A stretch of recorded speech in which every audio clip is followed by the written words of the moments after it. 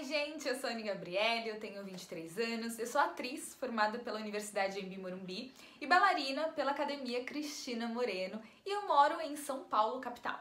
Bom, eu faço parte de um núcleo chamado Núcleo Educato, onde a gente faz dezenas de peças, tanto infantis como juvenis, e a gente já ficou em cartaz com algumas peças de William Shakespeare, é o Conto de Inverno, e foi em Toverruna, do Lope de Vega, no qual eu fui a protagonista. E com essa peça a gente concorreu ao prêmio Coca-Cola como melhor peça de teatro juvenil.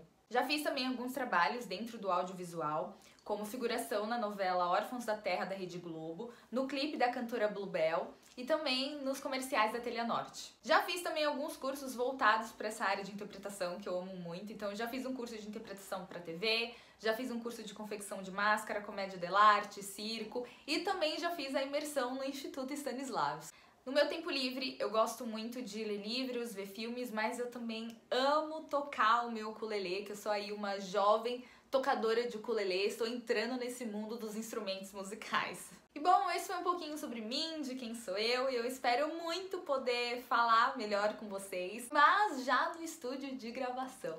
Então é isso, gente. Um beijo pra vocês, tchau, tchau!